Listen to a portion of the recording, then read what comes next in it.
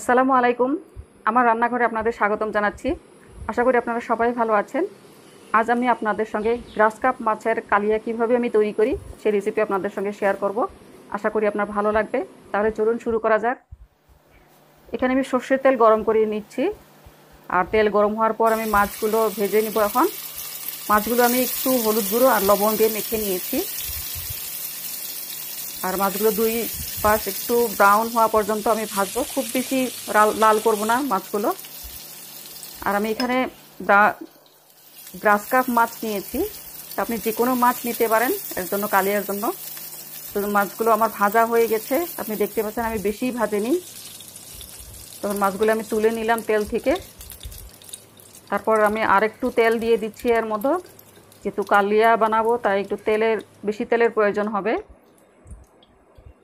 আর তেল গরম হওয়ার পরে আমি আধা চামচ জিরা দিয়ে দিচ্ছি এতে। আর জিরাটা আমি একটু ভেজে নিব। জিরাটা ভাজা হয়ে গেছে আর এখানে আমি পেঁয়াজ, রসুন আর কাঁচামরিচ পেস্ট করে নিয়েছি। আর আমি সেগুলো দিয়ে দিচ্ছি এখন তেলে। আর এগুলো দেওয়ার পর আমি মিনিট খানেক ভাজবো তেলে। আমি এখানে একটা পেঁয়াজ নিয়েছি, কয়েকটা রসুন কলি আর কাঁচামরিচ কয়েকটা নিয়েছি।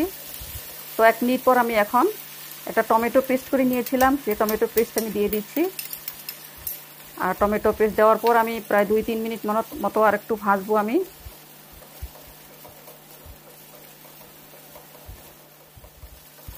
দুই তিন মিনিট পর আপনি দেখতে পাচ্ছেন একটু ঘন হয়ে আসছে। তো আমি এখন বাকি মশলাগুলো দিব। তো এখানে আমি লবণ দিয়ে দিচ্ছি স্বাদ মতো।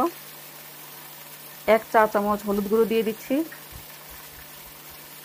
দুই চা চামচ জিরা গুঁড়ো দিচ্ছি। আপনি যতগুলো মাছ রান্না করবেন, ওই হিসেবেই মশলাগুলো দিয়ে দেবেন। এক চা চামচ ধনিয়া গুঁড়ো দিচ্ছি।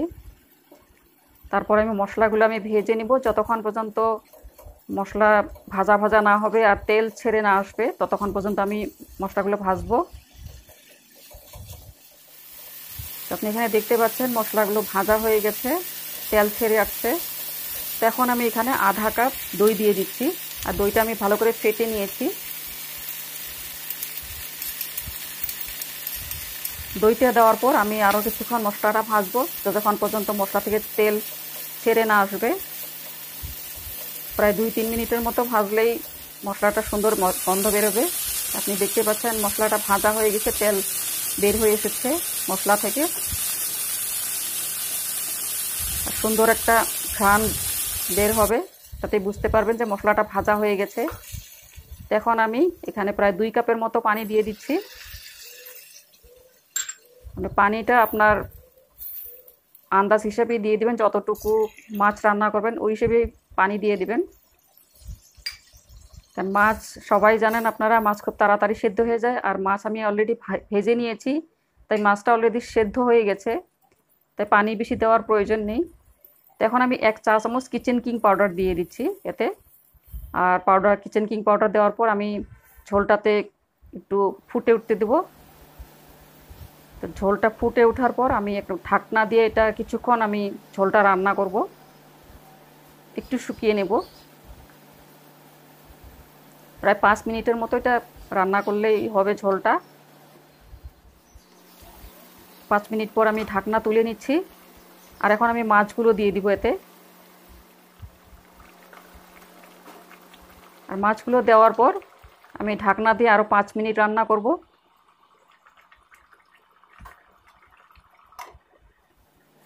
পাঁচ মিনিট পর আমি ঢাকনা তুলে দিচ্ছি। আপনি দেখতে পাচ্ছেন ঝোলটা এখনও পাতলা হয়ে আছে, অত একটা ঘন হয়নি। কালিয়ার ঝোলটা একটু ঘন হয়। বেশি পাতলা রাখলে কালিয়া খেতে ভালো লাগে না। তাই ঝোলটা আর একটু আমি শুকিয়ে নেব। ঢাকনা দিয়ে আমি আরও কিছুক্ষণ এটা রান্না করব। ঝোলটা অত ঘন না হয়ে আসা পর্যন্ত। এখানে কিছুক্ষণ পর আপনি দেখতে পাচ্ছেন ঝোলটা অনেক শুকিয়ে এসেছে, ঘন হয়ে এসেছে। তো এখন এটা কালিয়া, মাছের কালিয়াটা তৈরি হয়ে গেছে। তো আশা করি আমার রেসিপিটা আপনার ভালো লাগবে। আর এই মাছের কালিয়া গরম ভাতের সঙ্গে খুবই ভালো লাগে। আমার রেসিপিটা আশা করি আপনার ভালো লাগবে। আর যদি রেসিপিটা ভালো লেগে থাকে, তাহলে আমার চ্যানেলকে সাবস্ক্রাইব করতে ভুলবেন না। ও ভিডিওটি লাইক ও শেয়ার করবেন। আবার একটি নতুন রেসিপি নিয়ে হাজির হব। আপনারা সবাই ভালো থাকুন, সুস্থ থাকুন। আল্লাহ হাফিজ।